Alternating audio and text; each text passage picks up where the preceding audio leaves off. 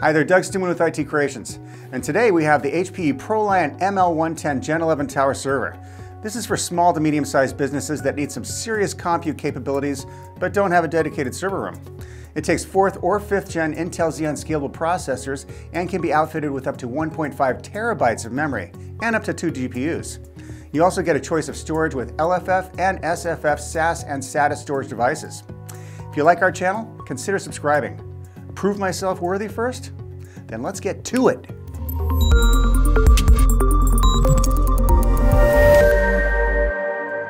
Not only for small to mid-sized businesses, but also branch and remote offices. This system can support a number of diverse workloads, including IT infrastructure, data management, virtual desktop infrastructure, and more. Looking like a miniature multi-level prison facility, you can be confident your data is protected while you grow your business. Yes, Intel Xeon 6 CPUs are out, but you can still get plenty of performance out of 4th and 5th gen Intel Xeon scalable CPUs supported on this platform. Or should I say, CPU, because it is a single socket system. By the way, HPE has about 4.5 thousand views of their animated virtual tour of this system after two years. Dear viewers, I do hope we can beat that pathetic and downright insulting number. I'll try and keep this brief. That stylish bezel has a key lock which is standard.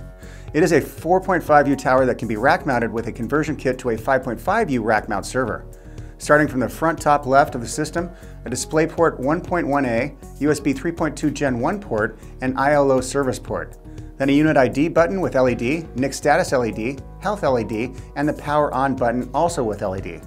Below all that, an optional optical drive, then a media bay that can be used for a tape drive or RDX removable disk cartridge, which is also used for data backup. Below that, several options for storage. Are you interested in the HP ProLiant ML110 Gen 11 server? If you are, then for a limited time you can save up to $500 off the purchase price of a system that's listed or one that you can configure at IT Creations that's valued at $5,000 or more. Just click that link for more information and when you're ready to make a purchase, just mention this video. And now into storage. Ours has eight 2.5 inch storage bays in box one, Below that, the option to install another drive cage that can support 8 more 2.5 inch drive bays in box 2, for up to 16 hot swap drive bays total. The other option includes 4 or 8 3.5 inch drive bays.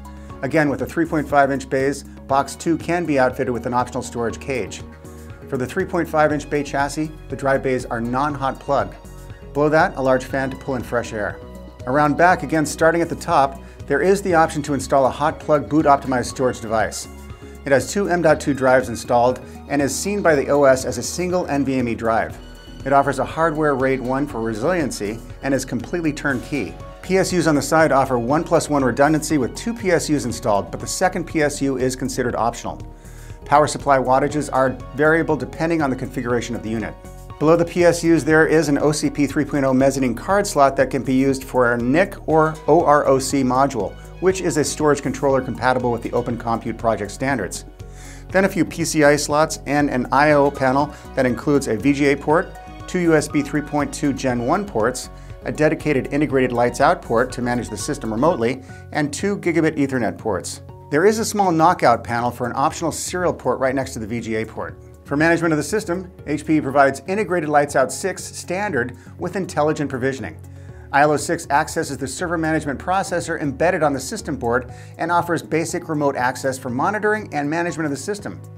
For additional features, ILO6 Advanced provides access to the remote console and enables multi-user collaboration. For more comprehensive management of the system, there's HPE OneView. OneView can be downloaded and used to manage your entire network, including storage appliances and switches. To access systems remotely, you will need OneView Advanced plus ILO Advanced and licensing for each server you'd like to administer. Loosening the thumb screw on the back allows for removal of the side panel. A small padlock loop and Kensington lock slot are standard equipment. Hello, Mrs. Kensington. Hello, Austin.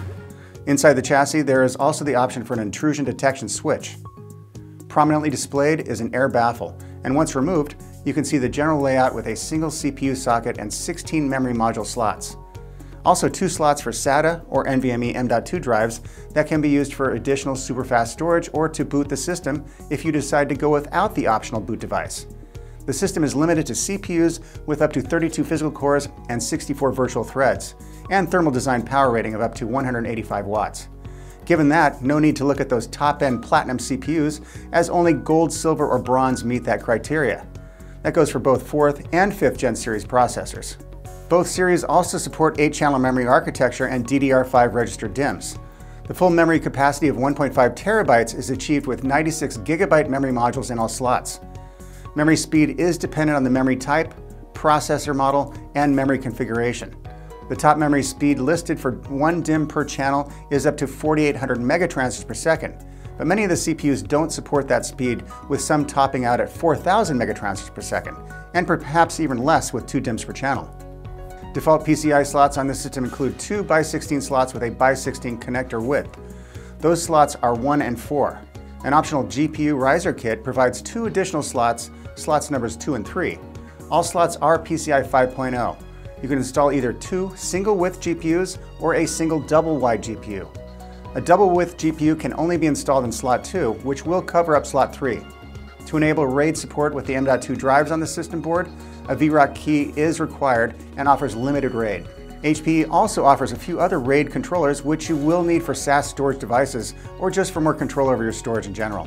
Tried to keep it short and sweet. How did they do? Subscribe maybe? Or maybe not. this is a very flexible platform with some serious compute from the Intel Xeon scalable processors, plus GPU options for a little computational acceleration. Have a use for this system? Post it in the comments section below.